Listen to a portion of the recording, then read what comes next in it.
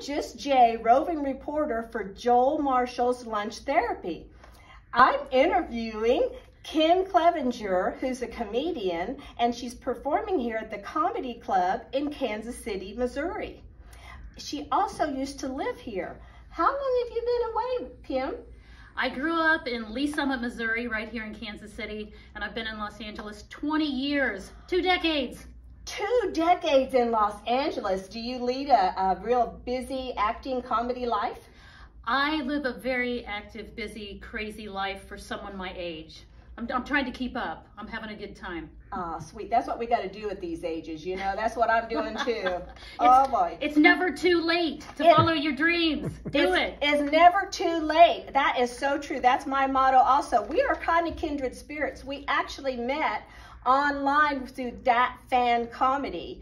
And so it's it's been really exciting to kind of chat with her and meet her in person because she's kind of an idol of mine. She didn't know that. Aww, yeah, we met on Dat Fan and Friends, so we have Dat Fan, and now we're friends. And now we're friends. We're yeah. Dat friends.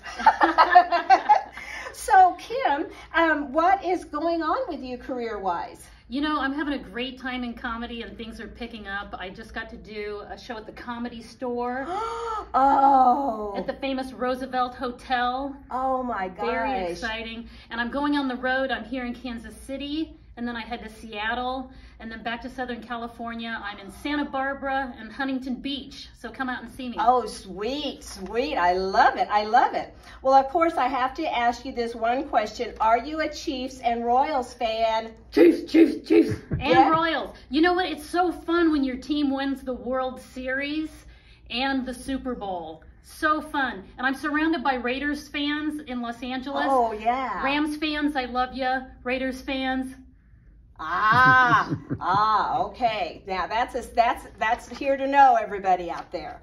Yeah, the, it is exciting having these winning teams right now because we've had some down times too. Yes. um, and also, well, um, we are excited. We're going to watch you perform tonight. And uh, we're excited to see you. And it sounds like you have a lot of hometown people coming to see you too. Is that too fun? I am so excited. My entire high school graduating class is coming. Oh. My sorority sisters from Mizzou are driving from as far as St. Louis. Oh. If I could have 50 people that love me in the front row of all my shows, that would be a dream come oh, true. Oh, wouldn't yeah. it though? Oh, it's, I'm just so happy and excited for you.